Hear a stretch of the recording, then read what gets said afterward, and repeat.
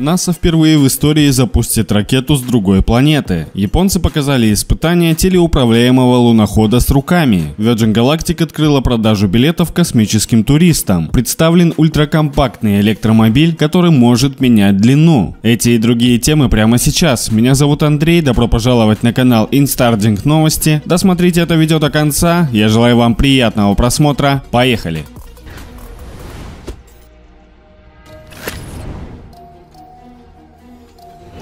По плану марсоход Perseverance будет собирать образцы грунта и оставлять запечатанные пробирки на поверхности планеты. Затем на Марс отправят новый марсоход, чтобы собирать эти трубки и доставить их на стартовую площадку, где они будут загружены в ракету. Речь идет о первой ракете, запущенной с другой планеты. После она пристыкуется к орбитальному космическому кораблю, который доставит образцы на Землю. Недавно НАСА объявила о заключении контракта с компанией Lockheed Martin на создание Mars Ascent Vehicle, который должен доставить образцы с марсианской поверхности на орбиту. НАСА признает проблемы при создании данной ракеты, заявляя, что она должна быть в состоянии противостоять суровым марсианским условиям, где может столкнуться с низкими температурами и пылью, а также с другой атмосферой. Ракета также должна быть совместима с марсоходом, который будет собирать образцы. Цель состоит в том, чтобы запустить посадочный модуль для извлечения образцов в 2026 году. До этого ракета должна быть спроектирована, разработана и испытана.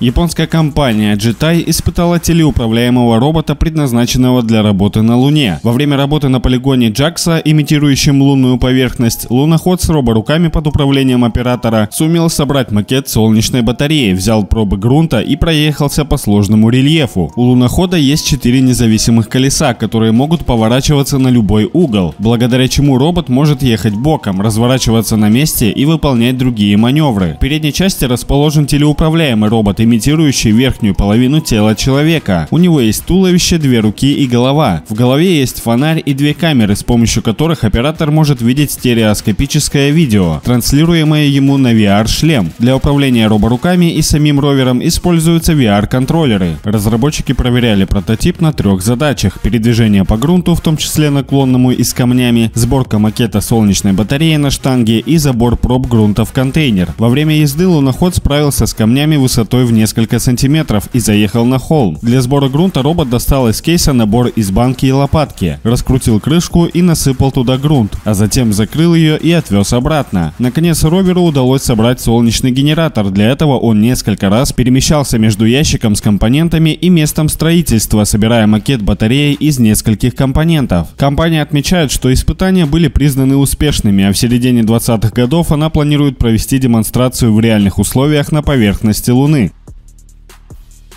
Компания Virgin Galactic с 16 февраля начала продажу билетов в космос для всех желающих. Стоимость 90-минутного полета составляет 450 тысяч вечно зеленых. Сначала выплачивается взнос в размере 150 тысяч, а окончательный платеж делается уже перед вылетом, говорится в сообщении компании. Также в компании подчеркивают, что бронирование мест на космоплане обеспечивает доступ к членскому сообществу, которое называется Future Astronaut. Virgin Galactic обещает членам сообщества доступ к событиям событиям, которые нельзя купить за деньги, поездкам и мероприятиям по подготовке к космосу. Все полеты будут осуществляться с космодрома Америка в Нью-Мексико. На протяжении нескольких дней астронавты будут жить в специальных помещениях и готовиться к полету в космос. Во время полета клиенты Virgin Galactic отправятся в 90-минутное путешествие с запуском космолета Unity и ускорением до трех махов. Астронавты испытают несколько минут невесомости и смогут любоваться захватывающими дух видами Земли из 17 иллюминаторов космического корабля.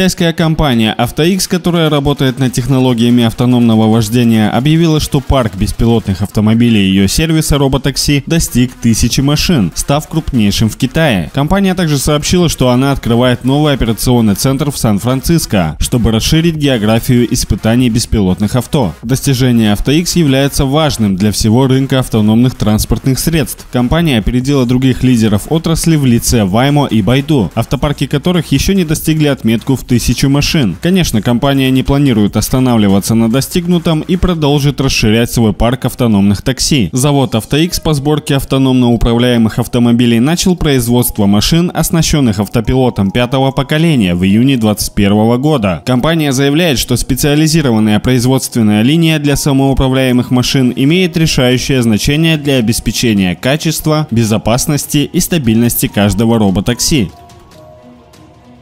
Подразделение DS Automobiles, являющееся премиальным суббрендом Citroën, объявило о намерении с 2025 года перейти на выпуск только электромобилей. Судя по концепту электромобиля DS и Tense Performance, это будут не только комфортные, но и мощные машины. Ключевой особенностью концепт-кара DS и Tense Performance является его позиционирование. Это гиперкар, оборудованный силовым агрегатом гоночного болида Формула E. Первая версия данного концепта была представлена еще в 2016 году на Женевском автосалоне салоне. За минувшие 6 лет машина была серьезно усовершенствована. Сейчас она получила передний электродвигатель на 250 кВт и задний на 350 кВт. Вместе они выдают 600 кВт или 815 лошадиных сил, при крутящем моменте до 8000 ньютон на метр. По сути, это гоночный электромобиль, предназначенный для движения по дорогам общего пользования. Не вдаваясь в подробности, компания отметила, что источником энергии стали аккумуляторы на основе инновационного химического состава размещенные по центру ближе к задней части машины для оптимального распределения веса. Электромобиль разгоняется до сотни всего за 2 секунды.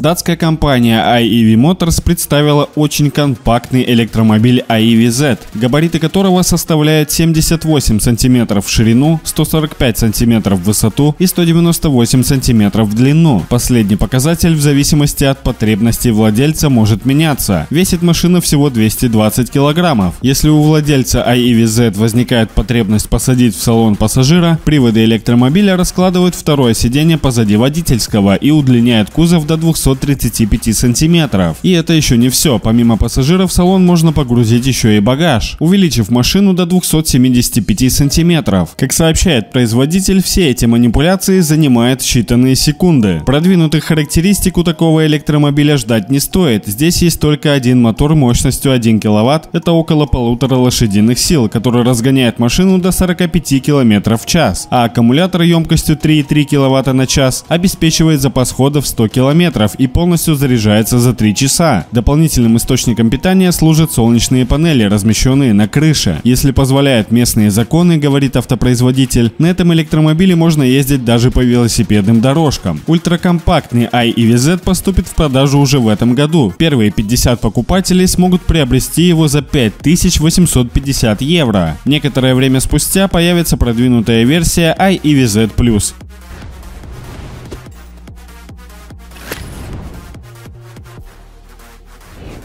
Спасибо огромное, что посмотрели это видео до конца. Не жалейте своих мощных лайков ему. Обязательно подписывайтесь на наш канал, жмите колокольчик и не пропускайте следующие выпуски. Обязательно оставляйте комментарий внизу и подписывайтесь на все наши полезные проекты. Ссылки вы найдете в описании. Ну а на этом я с вами прощаюсь. С вами был Андрей, канал Инстардинг Новости. Увидимся в следующем выпуске. До скорых встреч!